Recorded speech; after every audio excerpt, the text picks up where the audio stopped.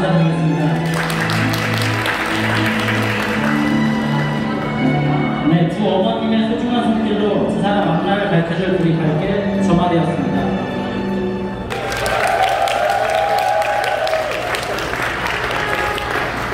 이 정도의 박수 소리면 신랑이 별로 잘생기지 않는 건가요? 다시 한번 박수 한 소리 들어보겠습니다. 네, 신랑님 오늘 행복하십니까? 네! 행복하십니까? 네! 그럼 그 행복한 마음을 담아 제가 입장을 외치면 힘찬 목소리로 신부님의 이름을 넣어 사랑한다 외치고 입장해 보도록 하겠습니다. 준비되셨습니까? 네. 신랑 입장!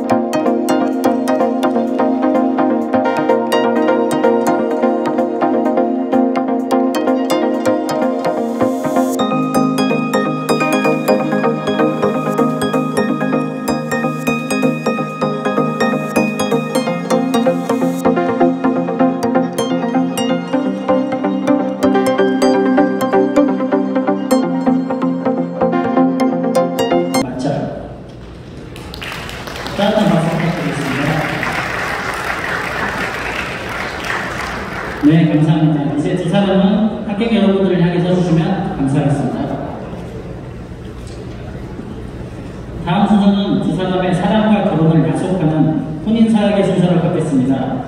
오늘의 혼인사약은 두 사람의 아름다운 목소리로 직접 낭독하도록 하겠습니다.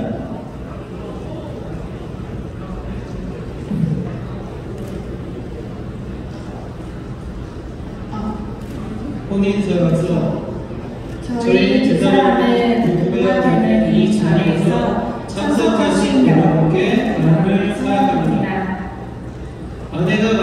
만들어주는 음식은 어떤 것이라도 맛있다고 칭찬을 아끼지 않겠습니다.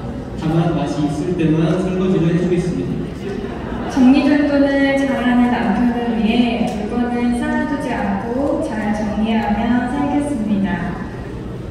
아낌없는 사랑과 표현으로 아내의 얼굴에 매일 활짝 웃음꽃이 피어나도록 하겠습니다. 집으로 돌아와 마주한 시간에는 남편의 입가에 미소가 번지게 하는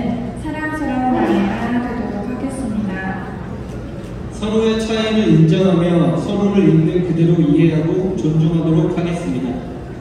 현명한 생각과 말들로 함께하는 삶을 더 깊이 있게 만들겠습니다.